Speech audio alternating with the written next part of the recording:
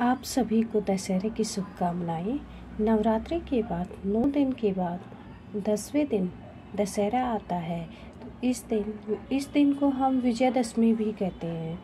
तो आप सभी को विजयदशमी की शुभकामनाएँ। आज दशहरा है तो मैं आज आपको दशहरे का पूजन बताऊँगी। तो दशहरे का पूजन सुबह के समय किया जाता है। दशहरा पूजन में सबसे पहले आप जहाँ पर हमें दशहरा पूजन के लिए जो स्थान चुना है, वहाँ पर सबसे पहले उसे साफ़ पानी से साफ़ कर लें या फिर गोबर मिट्टी से हम उसको अच्छे से लीप लें। या फिर लाल मिट्टी से हम उसको अच्छे से लीप सकते हैं। उस स्थान को साफ़ करने के बाद हम एक आकृति बनाएँगे। आकृति कुछ लोग रावण के बनाते हैं, कुछ भगवान राम के बनाते हैं। राजा रावण कहते हैं कि बहुत ही विद्वान और पंडित हैं। राजा रावण बहुत ही विद्वान, पंडित और बहुत ही शक्तिशाली राजा थे, इसलिए उन्हें अपनी शक्तियों पर इतना ज़्यादा अभिमान हो गया था कि उनका परिणाम उन्हें, उनका दुष्परिणाम तक उन्हें भुगतना पड़ा था। रावण को अपनी शक्तियों पर इतना ज़्यादा अहंकार हो गया था कि उन्होंने ऐसे ऐसे गलत कदम उठाए कि जिनकी वजह से उनका पतन हो गया था। आपको मैं बताती चलो, कहीं पर भगवान राम की ही आकृति बनाई जाती है पूजन के लिए और कहीं पर राजा रावण की बनाई जाती है तो आपके यहाँ जैसी मान्यता हो, आप उसको वैसे बना सकते हैं। तो सबसे पहले हम अगर आपके पास गाँव वगैरह में रहते हैं या फिर शहर में भी रहते हैं तो गौशाला वगैरह में गोबर मिल जाता है। तो गोबर की हमें दस थेपड़ी बना ले, बना लेनी है, जिसे छोटे छोटे उनको छोटा छोटा आकार दे देना है। तो इस तरह से उनको थेपड़ी बोलेंगे। तो थेपड़ी बना लेनी है दस प्रकार की, दस बना लेनी है। अगर आपको गाय का गोबर कहीं से नहीं मिलता है, कहीं से व्यवस्था नहीं हो पाती है तो फिर आप आटे की लोइया भी बना सकते हैं। उसके लिए आप दस आटे की लोइया रख सकते हैं और उन सब के बाद, करने के बाद हमने जैसे आकृति बना ली है और आटे की लोइया रखती है या फिर गोबर की थेपड़ी रख देती है, तब हम पूजन के लिए शुरू करते हैं। पूजन के लिए हम एक प्लेट में स्वास्तिक बना लेंगे या फिर ज़मीन पर भी दिया को रख सकते हैं।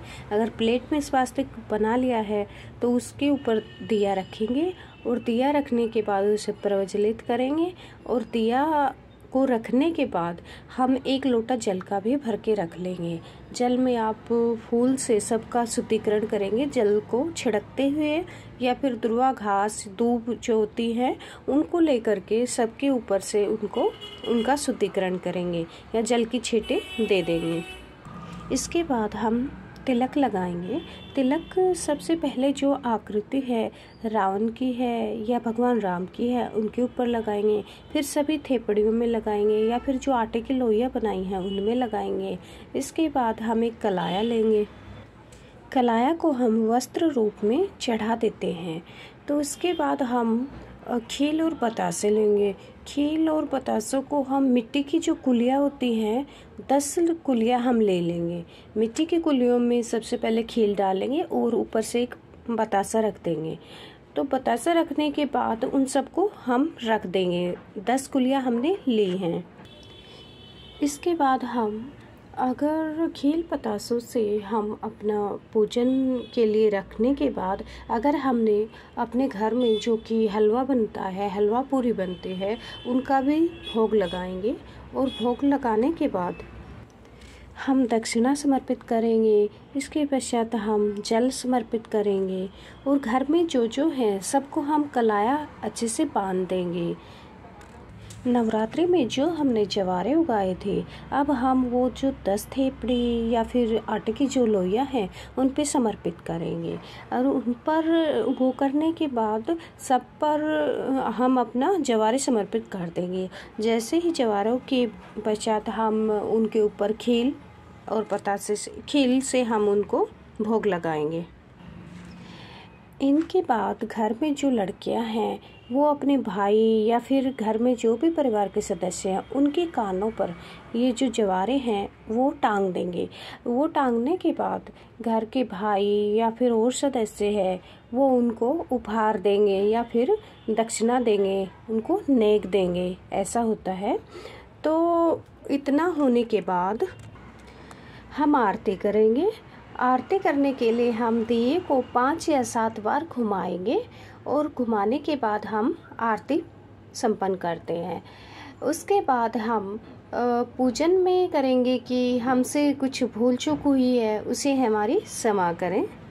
पूजा में रही कमियों की हम क्षमा मांगेंगे और साथ ही प्रार्थना करेंगे कि हमें भी अपना आ, हमें भी ज्ञान की प्राप्ति हो विद्वान बने और अहंकार की बिल्कुल भी हमें कोई स्थान ना हो, अहंकार बिल्कुल भी ना आए।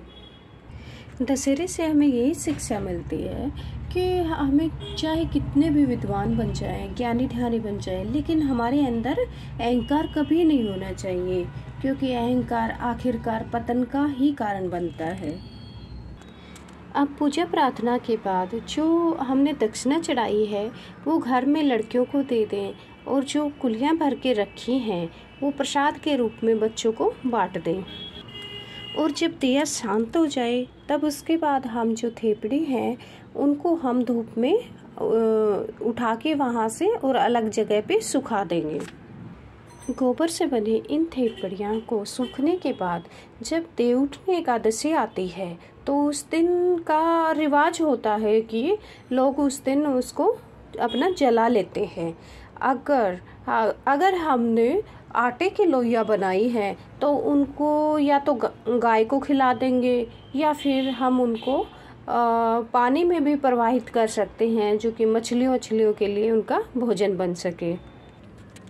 बहुत से लोग इस पूजन में, दशहरे पूजन में किताबें या फिर अपने जो औजारों से जो काम करते हैं, उनकी भी यहाँ पर रख के पूजा करते हैं। अगर ऐसा है तो आप उनकी भी पूजा कर सकते हैं। तो इस तरह से हमने बहुत ही बहुत ही साधारण तरीके से हम दशहरे की पूजा करते हैं। तो आपको दशहरे की एक बार फिर से शुभकामनाएँ बहुत बहुत अगर आपको ये पूजा विधि, दशहरे की पूजा विधि अगर अच्छी लगी तो चैनल को सब्सक्राइब ज़रूर कीजिए। आप सबको दशहरे की एक बार फिर से शुभकामनाएँ।